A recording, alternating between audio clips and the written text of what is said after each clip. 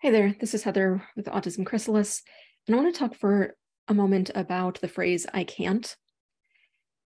It's interesting that we often use the phrase I can't to describe things that we are technically physically capable of doing. Like we have track records of actually having done this type of thing in the past, but it just feels hard or it's overwhelming or we don't want to do it, but we'll say I can't when we actually mean something else.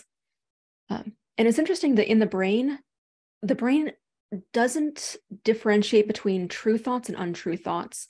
It actually can't tell the difference. It will react to both of them as if they're all true. So if you think I can't, sometimes you end up lying on your bed watching videos because your your brain and your body are like, well, if you can't do that thing, I'm just gonna not do it. I'm not gonna try, and it will shut you down.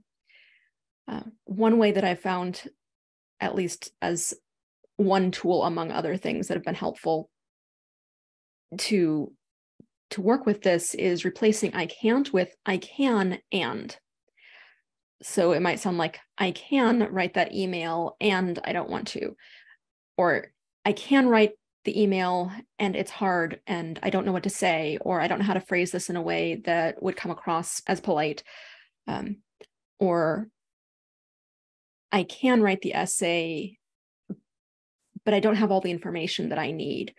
Or um, I can tell my boss that I'm not going to be at this event, um, but I feel guilty about it and I'm not quite sure how to phrase it. And I don't really want to navigate this conversation. But when you're specific about what's actually going on, you in some ways actually take back a little bit of control over the situation because now you know what you need to deal with. And it doesn't solve the issue but it it helps feel like you can manage it a little bit better. So that's something that's been helpful for me. I hope that that might be useful for you at least to some extent. All right i'm curious how you might translate this into your own life how maybe you can comment below and describe how you would like to try it out. And if you've liked this, if you found it helpful, please press the like button, subscribe if you're interested in getting other videos like this in the future. Thank you. Have a wonderful day.